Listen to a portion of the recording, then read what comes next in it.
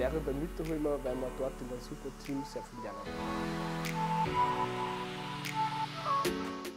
Hallo, ich bin der Kilian, ich mache Lehre bei Mitterholmer als Installateur und Gebäudetechniker. Wir machen alles rund um Sanitärinstallationen, Heizung, Klima und Lüftungsanlagen. Dazu gehören Rohre verlegen und reparieren und warten von verschiedenen Anlagen.